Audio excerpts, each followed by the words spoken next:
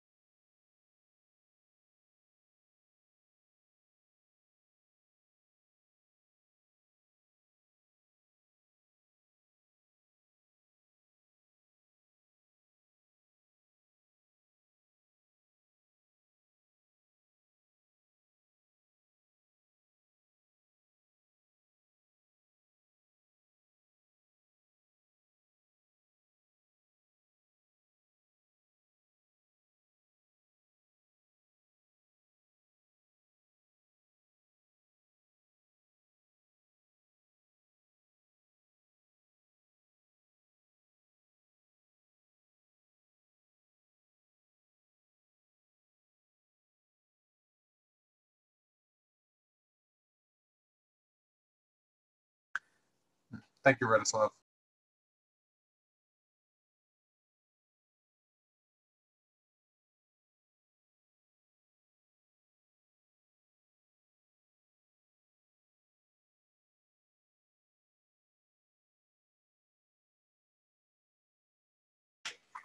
Okay. Um, as a um, reminder, please add yourself to the attendees list on the agenda. And with that, let's go ahead and get started.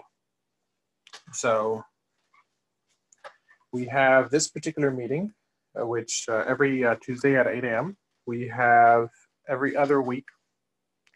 We have a uh, a Asia friendly call, and it doesn't look like we have uh, Nikolai on to discuss. Was it was anyone on that call um, earlier today? Yeah, yeah, but it was nothing really important discussed actually. Just current situation. Okay, cool.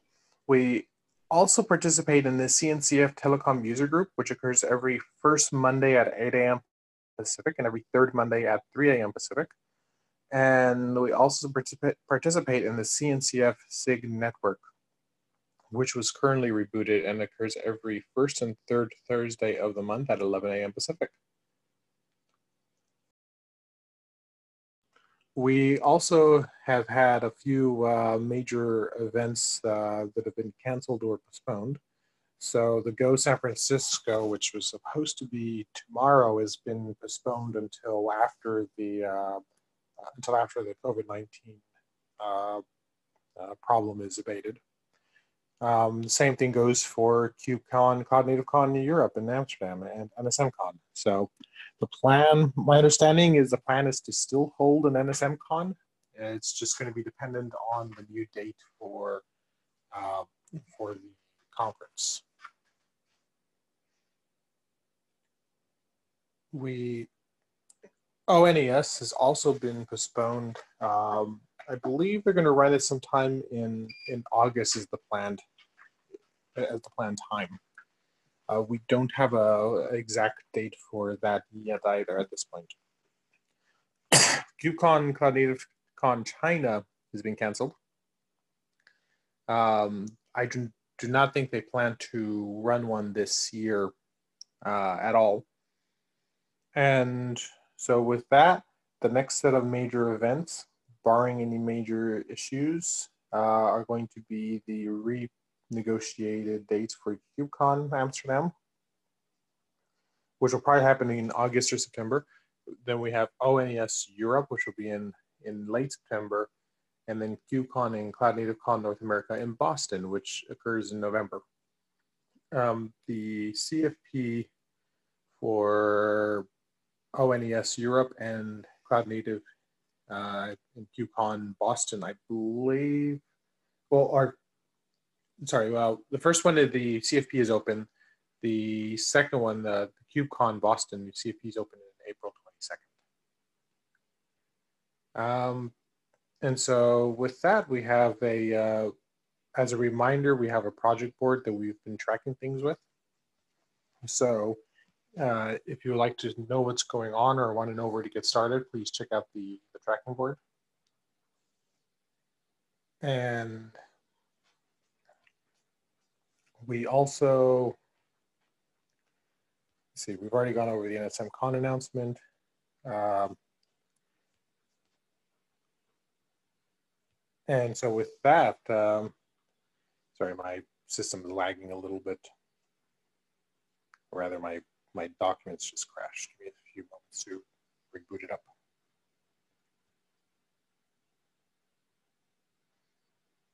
Cool. And we now have an NSM operator, which is uh, well, which is hitting the uh, community operators repo. And do we have anyone on the call who has uh, worked on the operator by any chance? Yes, uh, it's me. Hello, everyone.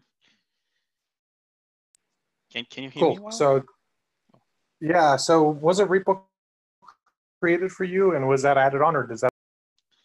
Uh, the repo actually is a community repo, so you you will find like uh, dozens of operators there. So it uh, actually will host the NSM operator for OpenShift and also for Kubernetes. And then using the operator lifecycle manager, you can install directly from that repo. So as, as of now, if you just install an OpenShift cluster, you will see NSM operator on uh, the OpenShift operator hub, for example. And Kubernetes is on its way. It's, uh, it's already has a PR there, so it should merge uh, by this week as well. Oh, fantastic. So I apologize, I misunderstood. Um, no, that's fantastic. It's getting onto the, uh, this is for Operator Hub uh, uh, website, right? Yeah, that's it. That's it. If you, if you want, I can I can talk a little bit later if you want about that. Cool. And yeah, one thing we need to do is we need to set up that uh, Git repo for you to to push on push things onto. So I'll I'll work on getting that set up soon. Yes, sure. No, no problem. Cool. So uh, social media, media community team is doing a written update this time. So I'll cover their uh, account unless uh, someone else from Volca would like to. Okay, so we have uh, some Twitter stats. On the, as of today, we have a, uh, 726 followers, for, so we've added six more. Uh, we followed six more. We've added nine more tweets for a total of 1,122. And we've posted information on NSMCon and uh, call reminders, CNCF weekly webinars, and news about CNCF joining Google Summer Camp of Summer Camp Code 2020. Uh, and we've also posted information about LFAI ONNX Community Virtual. And we also have uh, information on VMware's open source projects uh, trending on GitHub. Uh, with in LinkedIn, we now have 141 followers. We increased a follower. Posted the same information as on Twitter. Uh, information on NSMCon EU 2020 and similar have uh, been uh, postponed for the moment. So right now we have an empty agenda. Um, is there anything that anyone would like to discuss?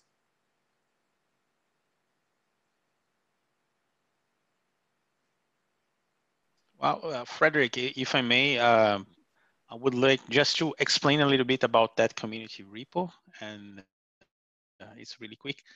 Uh, actually, we have two repos. One is the NSM operator repo, where you can find the operator itself, and the community operators repo just uh, it just holds uh, metadata about the operator, and then with that, it is possible to build a hub and to pull the images from uh, the proper repositories and run the operator on the platforms. So if in the near future we were to uh, move from my private, or not private, but public repo, personal public repo, uh, where the NSM operator is to under the NSM org, uh, this is not a problem because this is the operator itself. The bundle, the, the metadata that is uh, hosted by the uh, community operators repo is still uh, well, still the same. It is uh, remains the same, and each and every version of the operator will generate a bundle with the metadata that will come into that uh, community operators repo. The cool thing about that is that uh, you will have uh, it available on the operators hub, uh, both in OpenShift and Kubernetes if you have uh, uh, an operator lifecycle manager powered Kubernetes platform. That's it.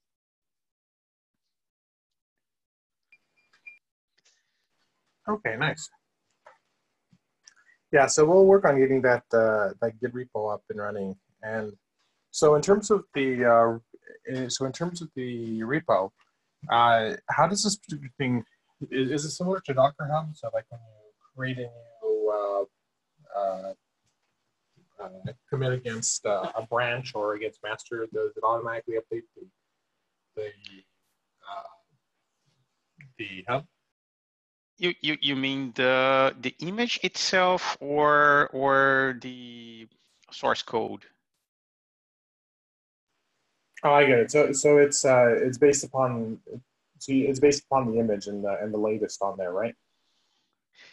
Yeah, yeah. I, I actually have uh, also a personal Quay.io uh, repo where the image is hosted.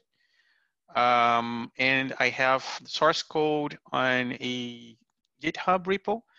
And the GitHub repo, this is uh, kind of confused. There is a GitHub repo that is called the community operators. There we have just metadata. The metadata is just saying, hey, here we have an operator that does this, this, this, and that. And we have the path for those images, so we know how to install it. It's kind of a, a metadata repo only. And on, on on the image side is it is in Quay.io. It's just like a public uh, uh, image repo. Nothing, nothing special about that. And the code itself is the one I'm, I'm eager to kind of move to under the NSM org. Uh, the other two, uh, it doesn't matter if we keep a Quay.io, it should be like uh, a repo uh, under also uh, then the, the NSM org, or we can just change the repo uh, for that particular image to something that NSM is already using. Okay, nice.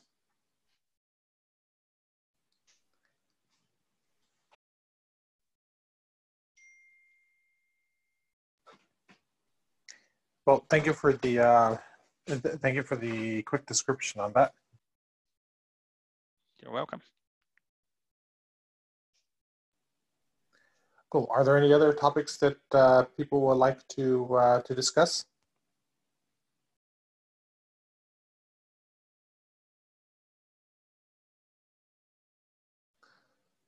Okay, if not, we can break uh, earlier this particular week and uh, we'll, can uh, we'll reconvene next week and uh, uh, we should have uh, Ed back and that particular scenario we'll uh, go over all of the, the variety of updates that we have for, for NSM.